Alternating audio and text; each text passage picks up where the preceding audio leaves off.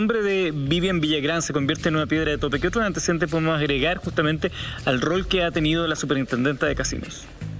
Bueno, esta semana estuve reporteando el tema porque em, al comienzo eh, daba por hecho que Enjoy se había acogido al decreto 77 con esta problemática de que se había acogido antes de que fuera legal.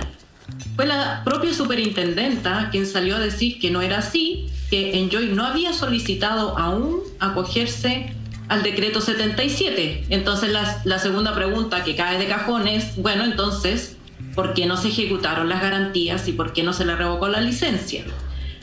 Eh, reporteando este tema, me encontré con una eh, consulta que le hace la superintendenta Contraloría el 28 de diciembre, Día de los Inocentes. le hace una consulta a la Contraloría diciendo, mire, yo he revisado toda la normativa y no tengo más, me parece que no tengo facultades para aprobarle un nuevo plazo a Enjoy. ¿Qué le parece a usted? Y el Contralor, eh, esto que se le pide es un dictamen pero eh, no hay ningún precedente previo de que una, eh, un servicio público eh, considere necesario consultarle a la, la, Contraloría sobre sus facultades. Las facultades de cada servicio y de la superintendencia están muy claras en la ley. Por lo tanto, esto, esta pregunta que le hace la superintendencia a la Contraloría no se entiende en ese minuto.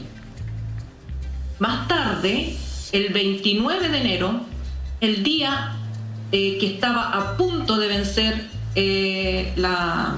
las garantías de, Enjoy en Viña, y después que el presidente firmara este decreto, pero que tal como se ha dicho no salía, no, no cumplía todavía todo su procedimiento legal, la superintendenta dice, mire, dado que la Contraloría no me ha respondido esta pregunta que yo le hice, vamos a suspender el procedimiento, vamos a ponerlo en stop hasta que la Contraloría me responda.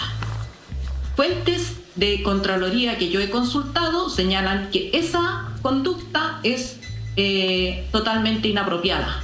No se puede eh, un servicio decir, bueno, como la Contraloría eh, no me responde, yo no voy a actuar hasta que la Contraloría me responda. Un dictamen, lo saben los abogados de derecho administrativo, no se demora menos de seis meses. Entonces, más bien parece una leguleyada, si me, si me permiten la expresión. Esto significa que eh, desde una interpretación, por lo menos eh, siguiendo las leyes, uno podría interpretar que desde el 29 de enero hasta que Enjoy empieza el trámite para acogerse este decreto, que fue solo la semana pasada, la, la superintendencia de casinos estuvo actuando fuera de la ley.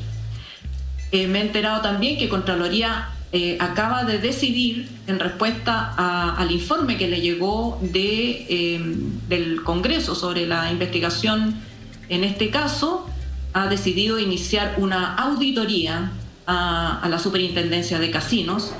O sea, la Contraloría no solamente va a investigar el fideicomiso ciego del presidente Piñera, también va a investigar los posibles actos eh, fuera de la ley que pueda haber cometido la superintendencia de casinos. Desde ese punto de vista, no creo que sea eh, propio que la, la superintendencia se retire, porque una vez que un funcionario renuncia, eh, es muy difícil luego investigar. podría ser una salida que la favorece más que asumir las responsabilidades que le correspondan en el caso.